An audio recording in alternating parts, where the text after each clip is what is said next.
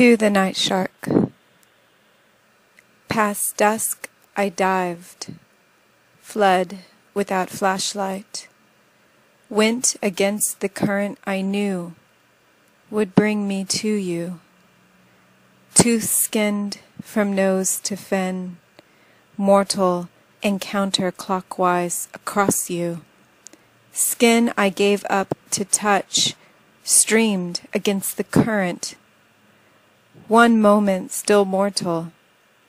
I was without struggle, without air, instinct, speech, skin dissolving between each snaggle-toothed stroke, touch, babbling, bled.